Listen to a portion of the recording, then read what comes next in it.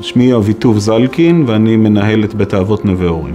יש לנו בבניין מחלקה שנקראת מחלקת שושים. ליד המיטות יש לחצני מצוקה, אבל מה קורה כשדייר קם בלילה לשירותים, הלך שני מטר ונפל?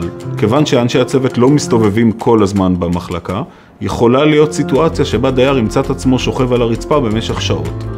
כשהגענו למסקנה שאנחנו צריכים לחפש פתרון טכנולוגי, בדקנו את כל מה שיש בשוק. בגדול, יש פתרונות עם שעון או עם תליון, שאותם פסלנו כיוון שאנחנו לא יכולים להיות בטוחים ב-100% שהדייר תמיד יענוד את השעון או את התליון. הפתרון השני שמצאנו היה של ויער, שמאפשר ניטור 24/7 בלי שום מעורבות של הדייר, הן בחדר המגורים, גם בחושך והן בחדר האמבטיה, גם כשהוא עם עדים. כיוון שהמטרה פה היא להגיע לדייר שנפל במהירות המרבית, היינו מוכרחים למצוא פתרון שישדר קריאת מצוקה ברגע שקורית הנפילה. לכן נבחר ויער קר. אני מרגישה מוגנת ובטוחה.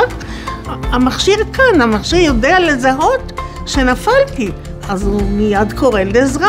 אז בעקבות ההצלחה של הפיילוט עברנו לפריסה מלאה של המערכת.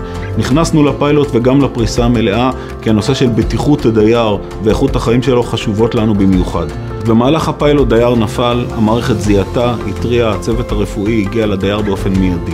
אלמלא ההתראה של המערכת, הדייר יכול היה לשכב על הרצפה גם במשך שעה או יותר ולא לקבל שום טיפול. מרגישה בטוחה שהוא שומר עליי. הרמה המקצועית של צוות ויער, התמיכה והמענה המיידי לכל שאלה, לכל בקשה, נתן לנו להבין שאנחנו אה, בקשר עם חברה מאוד מקצועית ומאוד זמינה.